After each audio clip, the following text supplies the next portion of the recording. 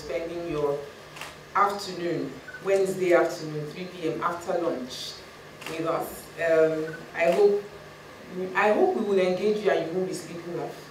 Um, so you're welcome to our seminar on developing and financing novel solutions in the Nigerian power sector.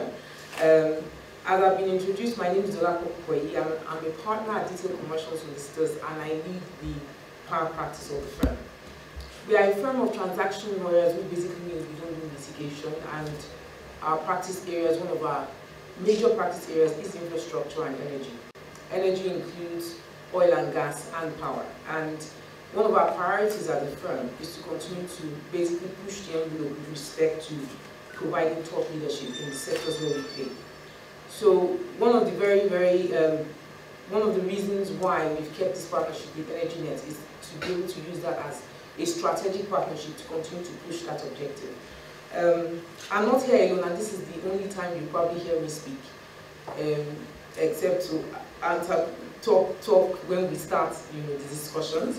Um, but I have, I have a team of people who are very capable of taking us through the session and a very, very good panel of invited guests. So I have my colleagues with me, um, and please just indicate you are, and you probably will see them on stage. So I have Ifedayo Adeoba, she's a senior associate with us. Um, I have Mr. Abiodun Oyeledun, so Mrs. Ifedayo Adeoba and Mr. Abiodun Oyeledun is also a senior associate with us. I have Mr. Bolaji Fasehun, he is an associate with us. So three of them will be basically facilitating the session with our invited guests, and I've also I've also got um, Adetu.